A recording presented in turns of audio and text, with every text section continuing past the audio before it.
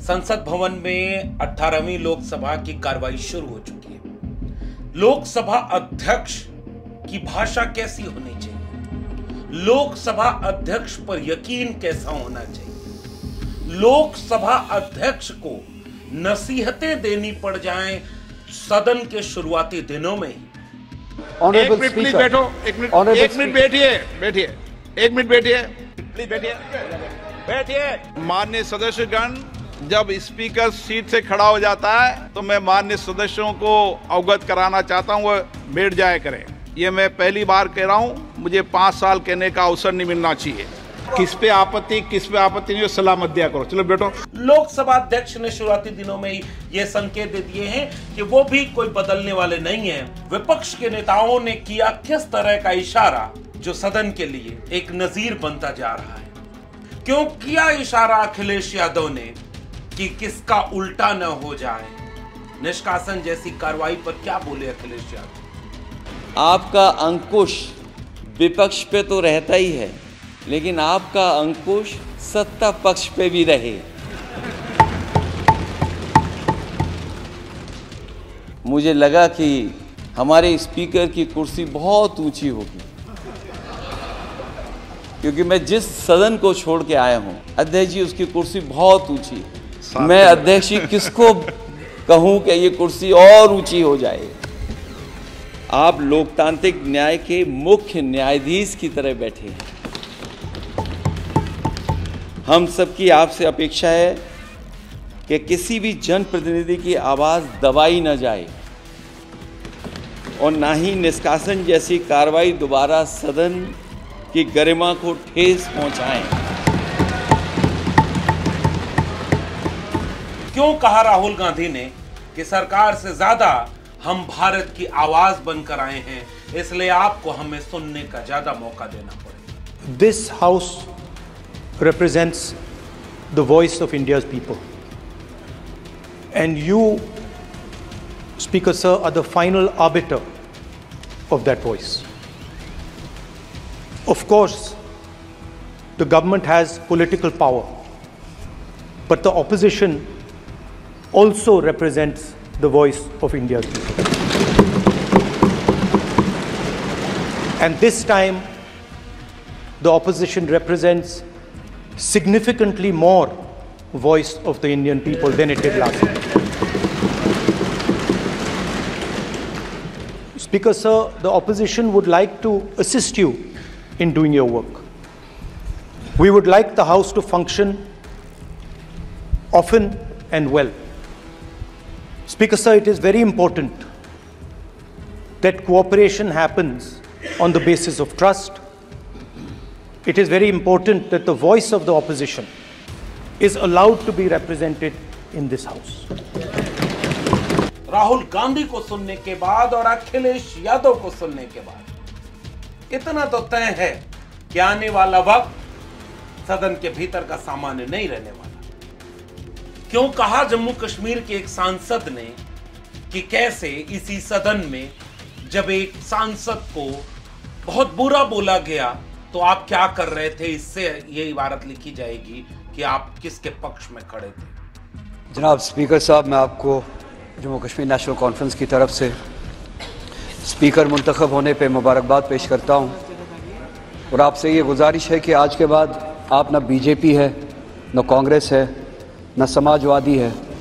आज के बाद सिर्फ़ आपकी एक ही पार्टी है आई आइन हिंद, द कॉन्स्टिट्यूशन ऑफ़ इंडिया। उम्मीद है कि आज के बाद आप उसके कस्टोडियन होंगे।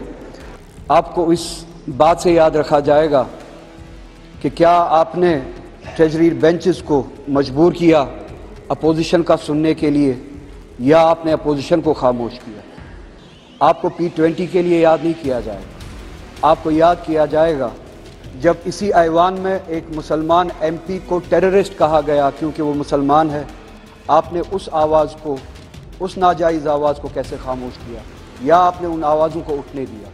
अगर एक एमपी जो चुना हुआ नुमाइंदा होता है अगर उस उसको इस हाउस में जमहूरियत के बड़े इदारे में टेररिस्ट कहा जा सकता है तो उन मुसलमानों को सड़कों पे भी टेररिस्ट कहा जा सकता होगा।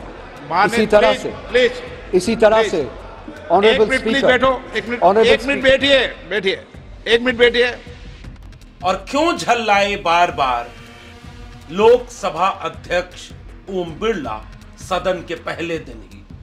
कैसा तेवर था विपक्ष का और कैसा तेवर था लोकसभा अध्यक्ष का? और क्या ये आने वाले पाँच सालों का अगर सब ठीक रहा तो कि अगर पाँच सालों तक सदन चलेगा तो कैसा चलेगा? इसका इशारा शुरुआती इन संकेतों से समझा जा सकता है। नमस्कार। राष्ट्रपति के अभिभाषण के साथ जो एक बात पूरे देश में चर्चा का विषय बनी हुई है, उस पर आज हम बातचीत करने जा रहे हैं। और वो चर्चा का विषय यह है कि कैसे संसद के शुरुआती दिनों में ही लोकसभा अध्यक्ष का व्यवहार, उनकी भाषा, उनका तेवर, उनका अपना रवैया कहाँ खड़ा है और विपक्ष के नेताओं ने किस बात का संकेत किया जब लोकसभा अध्यक्ष के चुनाव के बाद उनके धन्यवाद के लिए लोगों को बोलने का मौका मिल रहा था? लोकतंत्र में संविधान लागू जहाँ है, जिन देशों में वहाँ वाद विवाद संवाद की प्रक्रिया बहुत स्वस्थ मानी जाती है। पश्चिम के एक बड़े विद्वान ने कहा, मैं आपसे, आपके विचारों से घोर असहमति दर्ज करता हुआ भी हो सकता हूँ। बावजूद उसके मैं आपके बोलने के अधिकार के लिए लड़ूँगा और आपके बोलने की आवाज़ अधिकार को, आज़ादी को हिफाजत करूँगा। लोकतंत्र का बुनियादी तकाजा है असहमत आवाजों को भी जगह देना। और संसद जहाँ पर अलग अलग प्रकार की, कई तरह की असहमत आवाज़ें पहुँचती हैं, और वही लोकतंत्र होता है। देश के संसद में किसी एक पार्टी, किसी एक विचारधारा या किसी एक रंग, एक भाषा, एक संस्कृति के लोग नहीं होते। पूरे देश से अलग अलग तरह के लोग वहाँ पहुँचते हैं। जिसका बहुमत होता है या जो एक होकर के बहुमत साबित कर लेता है, वो सरकार में बैठा होता है और जो बहुमत के आंकड़े से कम रह जाता है, वो विपक्ष में बैठा होता है। लेकिन सदन के भीतर जब लोकसभा का अध्यक्ष चुना जाता है, जिसके लिए यह शर्त होती है कि वह जब अध्यक्ष बन जाएगा तो पूरे सदन का कस्टोडियन होगा। अध्यक्ष का पद इतना सम्मानित, इतना गरिमामय और इतना वरिष्ठ होता है कि इस बात से तय होता है कि सदन के भीतर जो चलेगा, वो देश हित में है, कितना है, कैसा है इसको सुनिश्चित कर सके। इसलिए वो किसी एक दल का पक्षधर नहीं होगा, वो किसी एक विचार का पक्षधर नहीं होगा, वो किसी सत्ताधारी दल का पक्षधर भी नहीं होगा। ये एक सैद्धांतिक पक्ष है। लेकिन व्यवहारिक पक्ष यह होता है कि ऐसे पद पर जो लोग बिठाए जाते हैं, उनकी अपनी एक राजनीतिक पृष्ठभूमि होती है। उनका अपना एक राजनीतिक इतिहास होता है। वो किसी दल से मिले हुए होते हैं, उनको कोई प्रमोट करता है, उनको कोई नॉमिनेट करता है, उस पद तक पहुंचाता है। तो सैद्धांतिक तौर पर तो वो पद पर पहुँचने के बाद निष्पक्ष होने का दावा करते हैं, और होता भी होगा। लेकिन भीतर भीतर कुछ संदेह ऐसे रह जाते हैं जिसका इशारा विपक्ष के लोगों ने पहले ही दिन के अभिभाषण में कर डाला। और जिस बात का संदेह विपक्ष के लोग व्यक्त कर रहे थे, लोकसभा अध्यक्ष ने पहले ही दिन ऐसा लग रहा था कि अपना धैर्य खो करके उन्हीं संदेहों को पुष्ट कर दिया। विस्तार से इस बात को हम समझने की कोशिश करेंगे।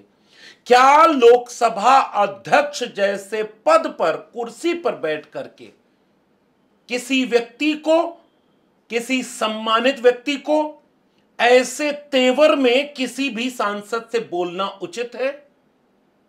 इस भाषा शैली में, इस बॉडी लैंग्वेज में, देह भाषा जिसे हिंदी में कहते हैं, मैं आपको एक शब्द बोलता हूँ, चूँकि मैं भाषा विज्ञान का विद्यार्थी हूँ। एक शब्द है अच्छा।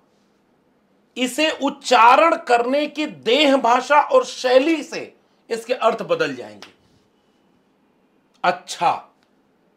अच्छा? अच्छा। अच्छा।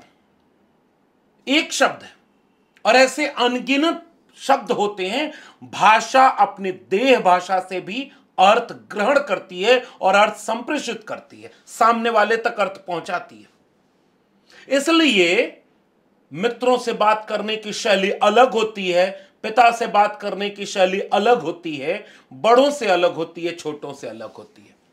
आप एक शैली में, देह भाषा में बात नहीं कर रहे होते।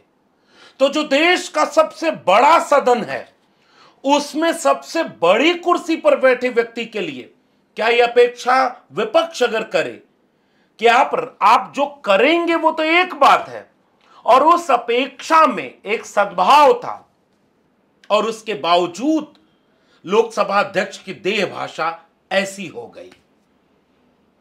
बैठ जाओ बैठ जाओ। नहीं, आप बैठिए बैठिए। आप मेरी बात सुनो। और सबसे महत्वपूर्ण, जब स्पीकर खड़ा हो जाए तो कोई भी सदस्य खड़ा नहीं होगा, बोलेगा नहीं, उसे बैठ जाना होगा। प्राइमरी स्कूल में मास्टर कैसे पढ़ाते थे? हिंदी की एक कविता है घुन खाए शहतीरों पर की बारह खड़ी विधाता बांचे फटी भीत है, छत चूती है, आले पर बिस्तुया नाचे। और मिनट मिनट पर बरसा कर बेबस बच्चों पर पाँच तमाचे। इसी तरह से दुखरन मास्टर गढ़ता है आदम के सांचे। प्राइमरी स्कूल के मास्टरों के लिए कहा जाता है कि वो जब क्लास को कंट्रोल नहीं कर पाते तो एक बुला के किसी को है दिया और उसके बाद पूरी क्लास। लेकिन सदन क्लासरूम नहीं होता, इसकी किताब बनी हुई है, इसका तरीका बना हुआ है और इसकी परंपरा बनी हुई है। तो जो सैद्धांतिक और लिखी गई शब्दों में नियमों की परंपरा है, उसी में एक शर्त यह भी तो परंपरा की होगी कि आप डांटते वक्त यह ना एहसास होने दें कि आप सत्ता पक्ष के किसी सांसद को डांट रहे हैं या अपनी पार्टी के किसी अकेले एक सांसद को डांट रहे हैं। क्योंकि सदन में पहुँचा हुआ हर एक सांसद बराबर की अहमियत रखता है, बराबर का सम्मान रखता है। चाहे वो पप्पू यादव हो, चाहे वो चंद्रशेखर आज़ाद हो, चाहे वो कश्मीर के, जम्मू कश्मीर के एक सांसद हो, और चाहे सत्ताधारी दल के सांसद हो। ये भेद तो नहीं होगा, और लेकिन ये जो बॉडी लैंग्वेज बात उन्होंने सही कही कि जब सदन में लोकसभा अध्यक्ष खड़े हो जाए तो कोई खड़ा नहीं होगा, ये नियम है, और ये बिल्कुल ठीक है। लेकिन इसी बात को कहना कैसे? वसीम बरेलवी का एक शेर है कि कौन सी बात कहाँ कैसे कही जाती है, इसका सलीका हो तो हर बात सुनी जाती है। इसलिए सदन में इस बात के संकेतों को अब पढ़ा जाएगा। दस साल तो इस तरह का तेवर चल गया क्योंकि विपक्ष उतना ताकतवर नहीं था, जिसका इशारा अखिलेश यादव और राहुल गांधी दोनों ने कर दिया अपने अपने वक्तव्य में। राहुल गांधी ने यह कहा कि सत्ताधारी दल को बहुमत दिया है जनता ने, लेकिन विपक्ष को भी बोलने और अपने मुद्दों को रखने की आवाज़ दी है। और इस बार तो ऐसा लगता है कि हम इंडिया की आवाज़ ज़्यादा मुखर है, इसलिए आपको हमें भी सुनना पड़ेगा। सुनिए राहुल गांधी की पूरी बातचीत को। This house represents the voice of India's people. And you, Speaker Sir, are the final arbiter of that voice. Of course, the government has political power, but the opposition also represents the voice of India's people. And this time, the opposition represents significantly more voice of the Indian people than it did last time. Speaker, sir, the opposition would like to assist you in doing your work. We would like the House to function often and well. Speaker, sir, it is very important that cooperation happens on the basis of trust. It is very important that the voice of the opposition is allowed to be represented in this House. ये विपक्ष के नेता की बात है आपको राहुल गांधी जब बोलते हुए नज़र आ रहे होंगे तो एक बात सोचिए आपने दस साल न्यूनतम जो विपक्ष के नेता के लिए शर्त होती है दस फ़ीसदी यानी पाँच सौ बयालीस तिरालीस अगर हैं तो तकरीबन चौवन पचपन सांसद जब अगर होंगे तो आपको नेता प्रतिपक्ष का भूमिका मिलेगी। एक टीवी इंटरव्यू में मोदी जी कह रहे थे कि राहुल, कौन राहुल? और अब वही राहुल, उनको साथ में खड़े होकर वहाँ सामने सवाल पूछेंगे और लोकसभा अध्यक्ष की कुर्सी पर हाथ मिला रहे होंगे। एक तस्वीर पहली बार लोगों ने देखी कि पिछले 10-11 साल में पहली बार नरेंद्र मोदी के आगे खड़े होकर किसी शख्स की फ़ोटो आई और वायरल हुई। ये वक्त का बदलाव है। और इस बार उन्हें नेता प्रतिपक्ष की ज़िम्मेदारी मिली। इसलिए राहुल गांधी की भाषा में वह एक संकेत, आत्मविश्वास दोनों था कि अब सदन के भीतर का माहौल बदल चुका है। अब सदन वैसा ही नहीं चलेगा जैसा पिछले दस साल चला है। इसके बाद नंबर था जिसने पूरी तरह से एक तरह से महफिल लूटी, वो दूसरे विपक्ष के ताकतवर नेता अखिलेश यादव ने। जब उन्होंने खड़े होकर बधाई तो दी लेकिन अपने तंज करने, अपने ह्यूमर, अपने विट से फिर से एक बार पूरे देश का ध्यान आकर्षित किया। ये कहते हुए कि आपके इशारे पर सदन चले, इसका उल्टा न हो। ये जो अखिलेश यादव का अपना एक तेवर था। उन्होंने कहा कि निष्कासन जैसी प्रक्रिया दोबारा ना हो। और बातों बातों में अखिलेश यादव वो सारे संकेत कर गए, जो किताबों में नहीं लिखा होता है कि लोकसभा अध्यक्ष ऐसा करता है। लेकिन व्यवहार में लोकसभा अध्यक्ष कैसा होता है, यह पिछले दस साल में देश ने देखा और विपक्ष के नेताओं के भाषण में फिर से देश ने एक संदेश सुना। और फिर दे भाषा बदल गई जब ओम बिरला जी की तो वो लोगों ने देखा भी। तो इस तरह से एक नई प्रक्रिया संसद के भीतर दिखाई और सुनाई दे रही है। चंद्रशेखर आज़ाद जब बोलने के लिए खड़े हुए तो उन्होंने कहा कि मैं अपने लोगों की आज़ाद आवाज़ हूँ। इसलिए भले ही मैं अपने इस पार्टी का अकेला सांसद हूँ, लेकिन मैं उम्मीद करूँगा कि आप मुझे भी अपने लोगों की आवाज़ बनने का पूरा मौका देंगे। सर, हम नई पार्टी हैं और मैं अपने लोगों की आज़ाद आवाज़ हूँ, सर। मैं आपसे संरक्षण की अपील करता हूँ, उम्मीद करता हूँ कि आप संरक्षण करेंगे, सर। सर, मैं ये भी प्रार्थना करता हूँ कि आप लोकतंत्र के रक्षक हैं प्रकृति आपको लोकतंत्र की रक्षा करने की जो है ताकत प्रदान करे। साथ साथ सर मैं पूरे सदन को आरक्षण के जनक छत्रपति साहू जी महाराज की आज जयंती उसके लिए भी बधाई देता हूँ सर। और मैं आपसे आग्रह करता हूँ सर हमारे लोग बहुत बुरी हालात में हैं सर वहाँ और अगर हमें मौका नहीं मिलेगा सर हम अपनी बात नहीं रख असउद्दीन ओवैसी अकेले सांसद। सर आप इस हाउस के रिपोजिटरी है कस्टोडियन है मगर हकीकत यह है कि अक्सरियती जमात के पास नंबर है मगर उनके पास अक्सरियत की ताकत नहीं है। यहाँ अपोजिशन के पास अक्सरियत की आवाज़ भी है। पप्पू यादव को बोलने के लिए। स्वतंत्र निष्पक्ष और सच्चाई के रास्ते पर इंडिया गठबंधन के विपक्ष के मज़बूत नेता आदरणीय राहुल गांधी जी और सभी एनडीए घटक के नेताओं के भीतर इस देश के विपक्ष की आवाज़ सिर्फ़ उसकी लोकतांत्रिक मूल्यों की रक्षा के लिए है। आप नैतिकता के मूल्यों के सर्वश्रेष्ठ कुर्सी पर विराजमान है। हमें उम्मीद है कि नैतिकता का मूल्यों का ह्रास नहीं होगा। जो अकेला सांसद है वो तो बार बार कहेगा ना भाई क्योंकि उसका लिस्ट में नंबर में बहुत कम होगा समय कम मिलेगा। पता नहीं हर बार बोलने का मौका मिलेगा भी या नहीं मिलेगा। इन तमाम संदेहों और वास्तविक परिस्थितियों के बीच कोई कोशिश करेगा कि वो बार बार बोल सके। और जब वो बोलने की कोशिश करेंगे तो थोड़ा दो चार बार उन्हें खड़ा होना पड़ेगा। इसलिए उन्हें बैठाने का तरीका ये कैसा लगा?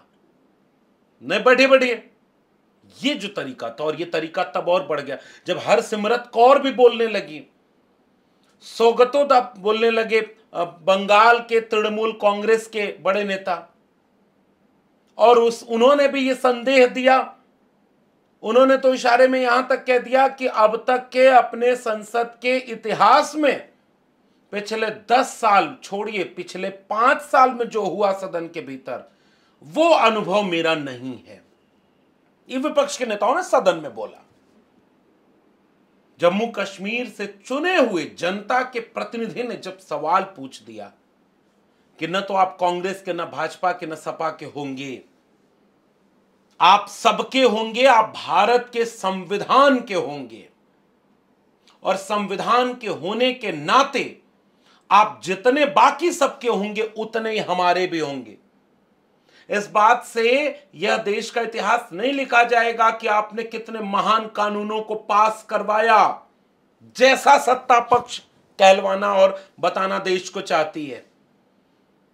देश की आने वाली पीढ़ियाँ एक सवाल पूछेंगे कि जब सदन में चुने हुए प्रतिनिधि को गालियाँ दी गई, अपमान किया गया, तब आपने इस तरह की चीज़ों को कितना रोका? और ये कितना शानदार सवाल था। और इसके बाद फिर से ओम ओम बिरला जी का व्यवहार देखिए। भले ही उन्होंने बाद में एक दो तथ्य ऐसे बोले जो हो सकता है तथ्यात्मक रूप से सही नहीं होगा, जो सदन की कार्रवाई में होता है, नियम होता है। सदन की कार्रवाई में आप गलत तथ्य नहीं बोल सकते, सदन की कार्रवाई में आप झूठ नहीं बोल सकते, जो सदन में है नहीं, उसका नाम नहीं ले सकते, बहुत तरह के नियम और शर्तें होती हैं। संसदीय भाषा का इस्तेमाल होगा, लेकिन सदन के एक लोकसभा अध्यक्ष से यह सवाल तो आने वाली पीढ़ियाँ बार बार पूछेंगी कि नया संसद भवन बना था और नए संसद भवन के दिन, जब उद्घाटनों के शुरुआती दिन थे, उन्हीं में एक चुने हुए सांसद ने दूसरे चुने हुए सांसद को सदन के भीतर उसकी धार्मिक पहचान के नाम पर गालियाँ दी। तो अगर उसने ये पूछ दिया कि जब सदन के भीतर हमारे लोगों को केवल हमारी पहचान के नाम पर इतना अन्याय अत्याचार हो रहा है तो हमारे गाँव में क्या होगा, कस्बों में क्या होगा, दूर इलाकों में क्या होगा? और इसलिए जब चंद्रशेखर आज़ाद बोल रहे हों, अवधेश पासी बोल रहे हों, जब पप्पू यादव बोल रहे हों, जब राहुल गांधी बोल रहे हों, अखिलेश यादव बोल रहे हों, या जब असउद्दीन ओवैसी बोल रहे हों तो सदन के भीतर तो वो अपनी पहचानों, अपने सवालों और अपनी विचारधारा को भी साथ में लेके खड़े हैं ना। तो जिस तेवर से उनको रिप्लाई मिले और जिस तेवर से सत्ताधारी दल को रिप्लाई मिले, बॉडी लैंग्वेज से, देह भाषा से इन दोनों में अगर फ़र्क हो जाए तो चीज़ें कितनी बदल जाएँगी। लेकिन इन शुरुआती दिनों में एक बात तो तय हो गई है। विपक्ष को जनता ने ताकत दे दी है, आत्मविश्वास दे दिया है, और विपक्ष चूँकि संविधान को हाथ में लिए खड़ा है तो नैतिक और राजनीतिक रूप से वो एज पर है, वो बढ़त लिए हुए है। और ताकत जनता ने बढ़ा दी तो वहाँ संख्या बल की बढ़त भी लिए हुए। और स्पीकर वही पुराने, सत्ता वही पुरानी, प्रधानमंत्री वही पुराने। इसलिए उनका रवैया, उनका मिजाज, उन लोगों का रवैया और मिजाज भी तो वही पुराना होगा, जो पहले ही दिन स्पीकर की बॉडी लैंग्वेज में दिख गया। और अगर ये इसी दिशा में रहा, और अगर लोकसभा अध्यक्ष का रवैया ऐसा रहा, जिसका संदेह विपक्ष के लोगों ने पहले ही दिन बताया और अगर ये इसी दिशा में आगे बढ़ा तो सदन के भीतर आने वाले दिनों में सत्ताधारी दल और विपक्ष दोनों के बीच ठीक ठाक गहमा गहमी भरी नूरा कुश्ती भरी, सहमति, असहमति भरी, सवालों से लैस, ताकतवर दृश्य देखने को मिल सकते हैं। जनता ने जिन्हें ताकत दी है, वो जनता की ताकत और आत्मविश्वास से आगे बढ़ेंगे। और जनता ने जिन्हें सत्ता पर पहुँचाया है, वो भी अपने पुराने मिजाज की तरह आगे बढ़ेंगे। और लोकसभा अध्यक्ष ने शुरुआती दिनों में ही ये संकेत दे दिए हैं कि वो भी कोई बदलने वाले नहीं है। तो अब देखना दिलचस्प होगा कि अब परिस्थितियाँ जब बदल गई तो क्या होता है। आपका क्या मानना है? नीचे कमेंट बॉक्स में ज़रूर बताइएगा। संसद के भीतर क्या होगा? सदन के भीतर क्या होगा और समाज के भीतर क्या हो रहा होगा, इन सारी चीज़ों को हम आपसे यूँ ही रूबरू कराते रहेंगे, देखते रहिए। तब तक के लिए बहुत बहुत धन्यवाद।